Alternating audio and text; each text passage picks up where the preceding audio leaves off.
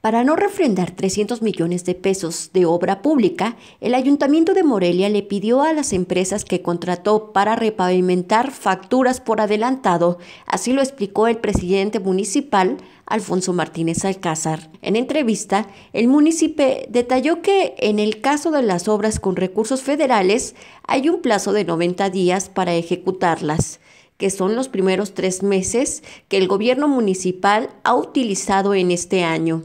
Asimismo, mencionó que no están pagadas, solamente están contempladas administrativamente porque el ayuntamiento hace los depósitos conforme avanza la obra.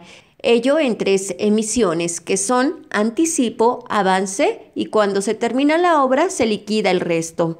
Lo anterior con finalidad de que los constructores no se vayan con todo y hebra, tal como pasó con la empresa RIMSA, la cual cobró 13 millones de pesos por un contrato que incumplió en la obra del auditorio Wenceslao Victoria.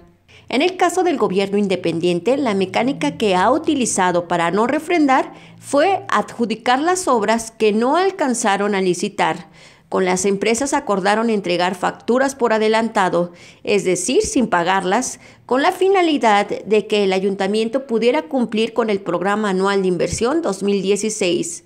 De tener las facturas en físico y no haberlas pagado en el 2016, el dinero tendría que ser reportado en el 2017, según la ley. Sin embargo, ante la existencia de las facturas ya entregadas, hay ajustes que no cuadran. Carla Yala, respuesta.